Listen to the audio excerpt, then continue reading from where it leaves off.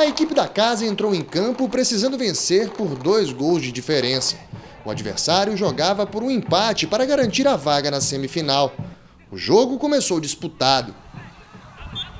Mais rápido, o time da Pratense foi para cima do Estrela do Sul. Em uma sobra de bola, Rafael pegou firme, arrancando o grito de gol da torcida. Mas a bola bateu na rede pelo lado de fora. Mas o gol era uma questão de tempo. Bolão passou bem pela esquerda. Cruzamento na medida e Leandrinho não perdoou. De cabeça, abriu o placar.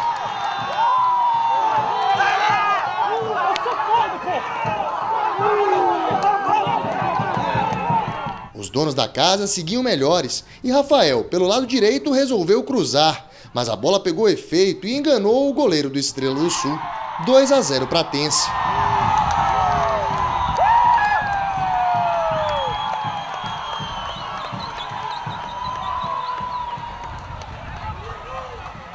No final do primeiro tempo, o volante Délcio recebeu o segundo amarelo e foi expulso. O time de prata estava com um jogador a menos e teria todo o segundo tempo pela frente. Mas Leandrinho tinha a receita do que fazer. Nós treinamos todo treino, o professor treina nós para poder com um a menos. Agora é sobressair para poder é, fazer mais vantagem no placar ou manter o placar. E a receita deu certo. João Paulo Queijinho fez belo lançamento para Leandrinho. O atacante soube esperar a hora certa e devolveu a bola para o próprio João Paulo, que chegou firme para finalizar. Um belo gol da Pratense.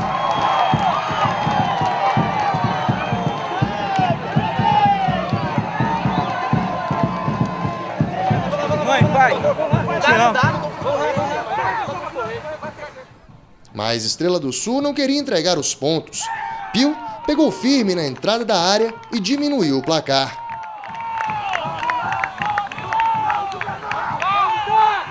Mas o susto passou rápido, porque pouco tempo depois, novamente Leandrinho chegou livre na área e de frente para o goleiro só teve o trabalho de empurrar para o fundo do gol.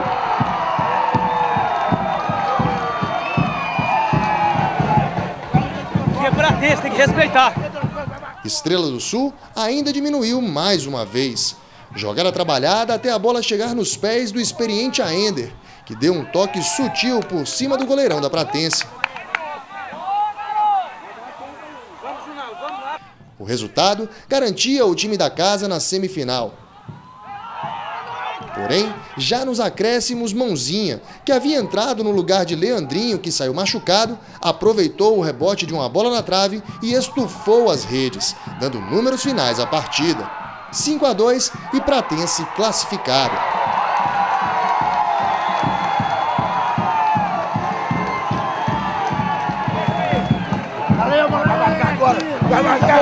Aos adversários, restou apenas reconhecer a superioridade dos donos da casa. Conseguimos um grande resultado lá em Estrela do Sul, uma vitória boa. Agora, um time que chega e toma cinco gols numa situação de decisão, realmente não tem o que falar. A gente não merecia, não merecia passar hoje.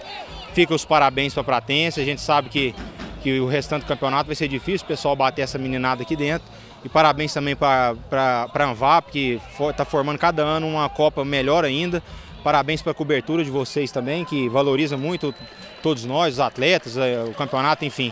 E agora fica para a Estrela do Sul fica uma lição. Esse ano a gente chegou um pouco mais longe, uma situação de revelar jogador lá e fazer um time mais forte lá, para poder ano que vem fazer uma, uma competição um pouco melhor. João Paulo Queijinho enalteceu a força da equipe, atual bicampeã da Copa Anvap. Cara, para te falar a verdade, eu não tenho palavras para descrever o que, que a Pratense fez dentro de campo hoje. Um jogador a menos foi expulso no primeiro tempo. E nosso time parece que estava com dois, três a mais. O que, que nosso time correu, o que, que nosso time fez dentro de campo, só tem que parabenizar e pensar agora na próxima fase. A equipe agora vai encarar o Tupaciguara. Para o prefeito da cidade, a força da torcida pode fazer a diferença uma Copa Anvap 2014 mais equilibrada, os times mais, mais é, nivelado e nós agora vamos é, para a semifinal.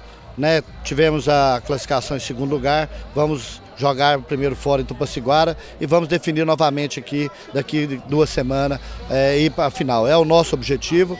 Hoje é, nós iniciamos o caminho para o terceiro título, que é o tricampeonato da Anvap. Nós vamos estar unidos e com certeza Deus vai nos abençoar aí mais uma vez.